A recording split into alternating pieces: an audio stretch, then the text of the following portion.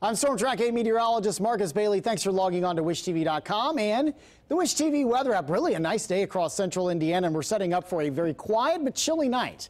43 at 7 o'clock to 38 at 9 and 35 at 11. So you're going to see those numbers fall a little more quickly than past few nights. And it will be near freezing at the bus stop, but overall, quiet to start things off for your Thursday morning. I think we get down to a low of 32, and that's where we will hold in the 7 and 8 o'clock hour as the sun comes up. Your daytime hours for Thursday will be dry. Numbers into the low 30s in the morning to 43 at noon. And we'll finish the day off only with a high of 45. And as we progress through, through the day, you'll see those clouds on the increase. So bright blue sky early on, a little more overcast as we head into the second half of your Thursday. We've been talking a little bit about of a winter type system coming in for Thursday night into Friday. That still holds true. So I'm going to pick Futurecast up at 8 o'clock Thursday night. We are still dry.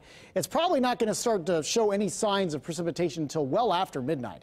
I stopped this at 5 o'clock in the morning on Friday, and you're seeing a mixed bag of rain and some snow. Basically, along and south of I 70, it's probably going to be mostly rain for you north of I-70, northern half of the state.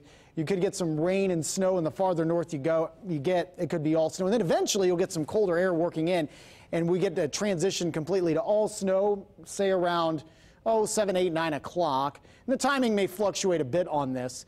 Again, extreme southern counties, though, you probably stay all rain.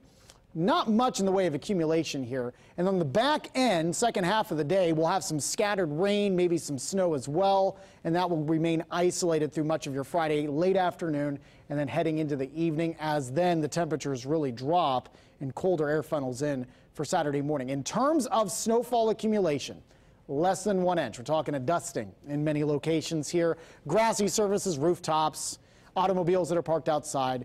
Uh, nothing on the uh, pavement. It's going to be far too warm for that to occur, so that won't be an issue. Friday, then again, you'll have that rain and snow mix in the morning, and then cloudy with that just isolated mix coming in during the day, and temperatures will be into the low 40s. Let's talk about some cold spells that are going to be heading our way. We get that first shot in this weekend.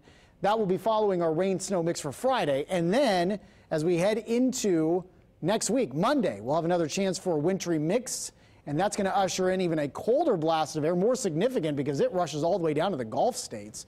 They'll be talking about numbers well below average for this time of year.